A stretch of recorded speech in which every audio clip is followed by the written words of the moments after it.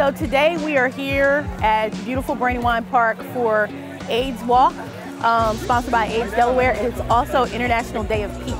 Wilmington City Council, we are happy to be here to support AIDS Delaware for the 40th commemoration of AIDS Day, the AIDS Walk. It's the 38th walk to promote awareness, to make sure that we are eliminating the stigma around HIV and AIDS.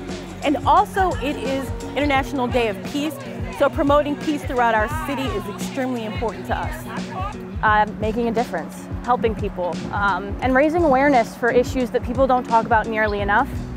Um, a lot of what Chris Coons said and Senator McBride said was really important that we need to start talking about these things again in the way that we used to and even more so than we used to. This walk conveys a message of hope that people care. It doesn't matter who you are.